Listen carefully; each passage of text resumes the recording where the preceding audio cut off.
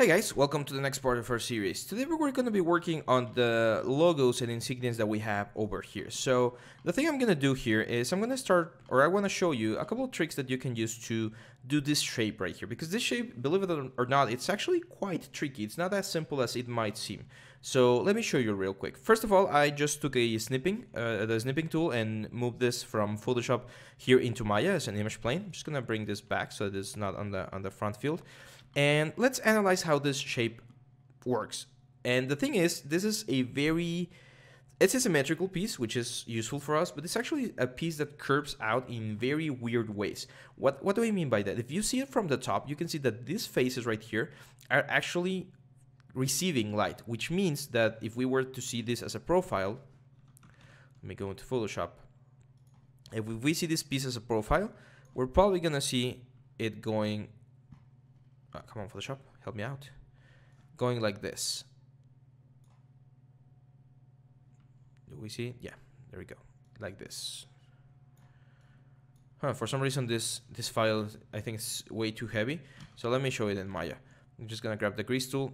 So from a side view, this thing would be curved and then doing this kind of thing for the for the little flag right here and from from the top view we would see something like this like this area right here goes forward to the in the, in the top view and then goes down so it has a, a quite an interesting um, finish. So i'm going to show you how would I, I would approach this piece. I'm going to go into mesh tools. I'm going to select create polygon and i'm going to create one big polygon here on the wing of this shape. I'm going to inverse that so reverse. There we go. And i'm going to do my Quad Draw to complete this piece going here to the middle, right about there. Because this is where the line uh, kind of follows and then moves downwards to the to the rest of the elements. So I'm just gonna continue the wing very broadly, as you can see here, like with very, very big shapes all the way to this place. On the top here, very simple. I'm just gonna continue these lines as well. So one, oh, two, and then start fanning it out so that we get the nice curvature here. This piece is actually one that we did before. We could copy it, but to be honest, in this particular case, I would rather have it from the same area. Now I'm just gonna select all of these middle lines, snap them, and mirror the object. And we have a very low poly representation of the silhouette of this thing. Now, what do we know about this thing? Well, we know this thing curves to the middle, right? So, oh, do we get a... Seems like we have an angle or something. There, there we go. So this middle line will give us our height. So I'm just to move it up to get the height of the piece, which should be something like that. And since we want everything to be as symmetrical as possible, we need to move this height as well. And that will give us pretty much like a nice curvature. Finally, I'm to grab this vertices, the last vertices that we have, which are these guys and these guys. I'm to move them up as well. We could even grab these guys and this and this and just move them slightly back. Same with this guy and this guy, slightly back to get a nicer curvature going. And, and that's good. And then we're gonna grab these guys, these four guys, and we're gonna push them out to get the other curvature that we have for that particular piece, which is actually quite, uh, from the shadow that I see, it should be quite, quite intense. So that's that's good for now. We're gonna grab these two guys, push them out, and then these two guys out as well. And then these two guys, I'm actually gonna push in a little bit to get like the, the curvature. And you can see here now that we have a very intense looking shape, very cool looking shape to be honest, uh, with the with the whole thing, right? Now that we have the curvature, now we can actually start doing a little bit of uh, modeling for the for the rest of the elements. So what I'm going to do is I'm going to extrude this thing, give it thickness, not super thick, but thick enough. So something like that. Yeah, something like that works. And let's start modeling. So for instance, we see here that we have like a little bit of a crown. So what I'm going to do is I'm going to just select all of these lines, all of these edge loops, and extrude it a little bit more.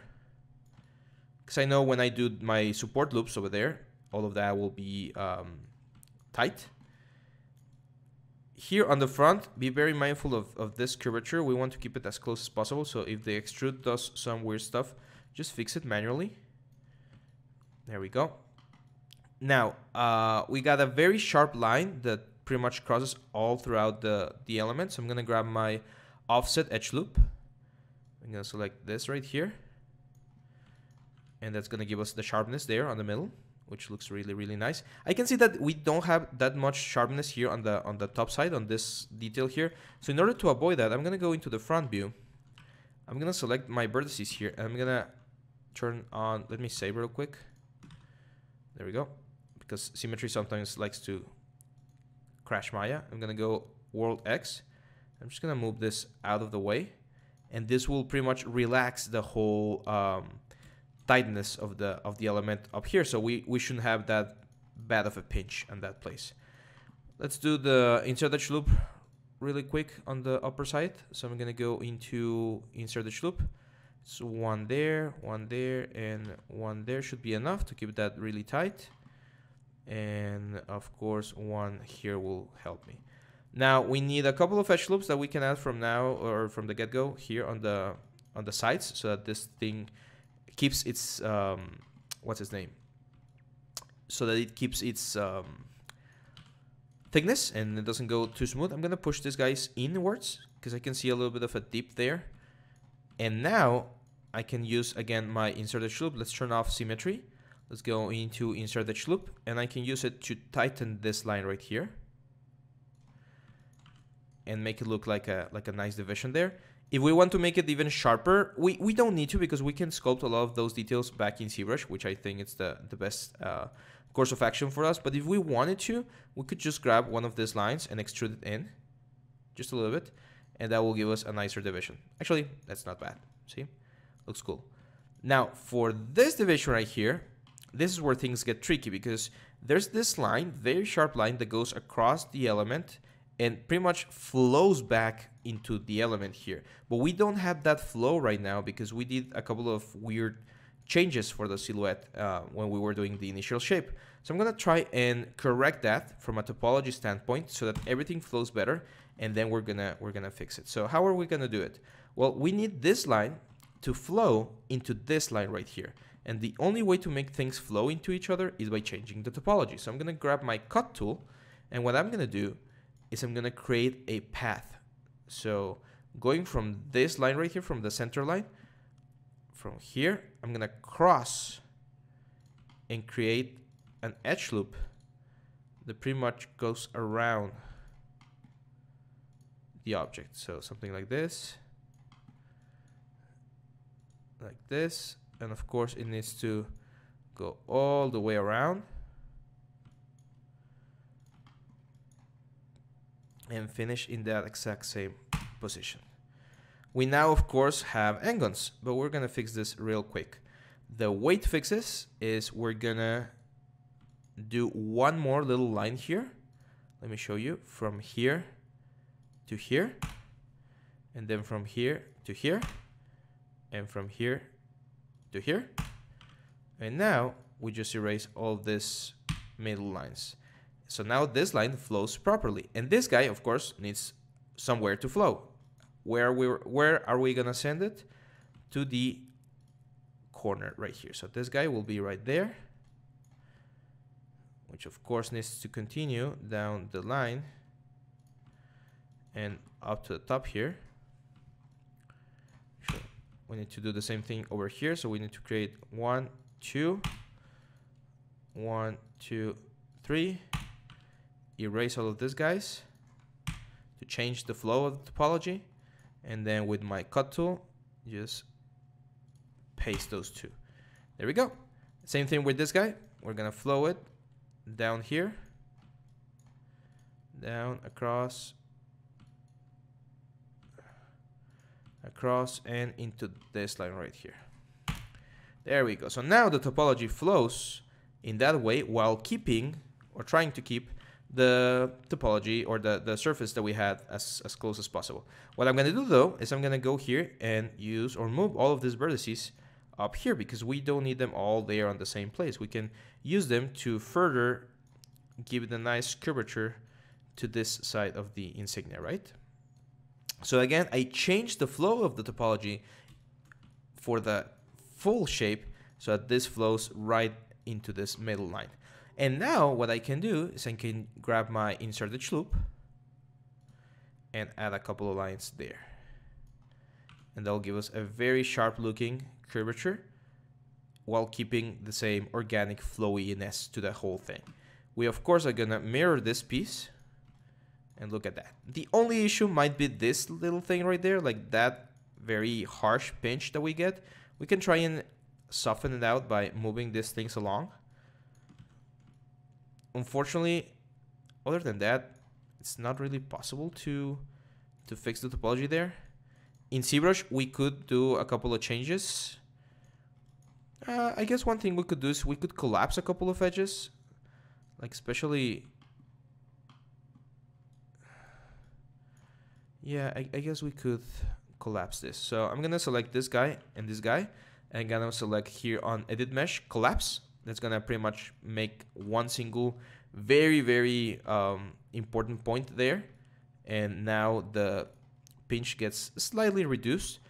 I'm gonna merge this guys to center. Let's see if that helps. Yeah, that definitely helps. It's not as visible now and we still get that nice sharp looking um, thing going around. Although I think I messed up the topology there. So let me see if we can, what else could we do? Let's see, if we get rid of this guys. Actually, that looks way nicer. I think it's that what that's what the artist intended. The one thing I do see though is there's a very sharp peak here. So I'm gonna move all of these vertices, the front vertices, down so we get that nice looking uh, indentation there and we probably do need a couple of like an offset edge loop on these middle polygons so that we get that sharp looking yeah. See? That's really really nice. Now of course we might have a couple of n-gons that's fine. Remember our little uh, secret? We can just um, smooth this out and it will solve all the n-gon issues. But before we do that, I want to insert a couple of edge loops, extra edge loops, one right there to keep that sharp line there, and one right here to keep that sharp line going. See, that's the that's the angle hitting right there. Uh, where else can we insert it? Right here. So in this corner there, and this corner there. There we go. So that keeps the whole shape of the thing. Of course, we need all those details and those nice lines uh, going around. But pretty much the shape of the insignia is right where we want to.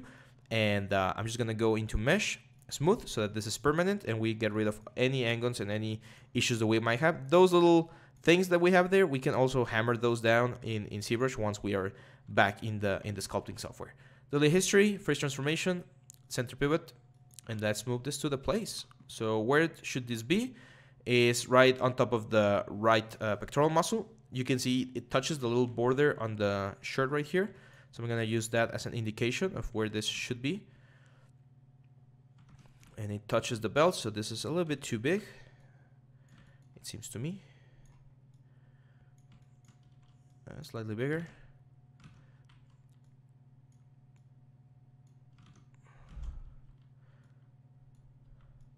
It's like his Medal of Honor or something. There we go. So that's that's the position of the object. Now, I'm gonna undo that because since this thing is very symmetrical, I actually want to keep it pretty similar to what we have here on the backs. Even though I know it goes over there, it's going to be way easier to sculpt if we have everything symmetrical. So if we position it, it's going to get really, really tricky to sculpt things out. Anyway, guys, I'm going to stop the video right here. In the next video, we're going to finish this little piece with the buckle here and probably start working on the leather um, shoulder pad that we have on the on the right left side here.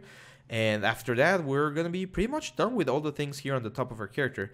We should be able to move really fast with the accessories here on the legs and then start with one of the coolest coolest features of this guy, which is the gloves right here. After that's done, we're going to move on to the boots and keep on working. As you can see, this is not a, or I don't consider this to be a very complicated workflow. Most of the modeling tools and modeling tricks that we're using are pretty much uh, the same. However, since there are a lot of pieces for the character, that makes it a little bit, um, of, or not a little bit, quite a bit of hard, hard work. So just be patient, keep pushing, try to utilize the same things or some of the things as many times as possible. And uh, yeah, don't don't get frustrated. Just keep on working, take it one step at a time, and you'll be able to finish in no time. So anyway, guys, hope you have a happy modeling, and I'll be back in the next video.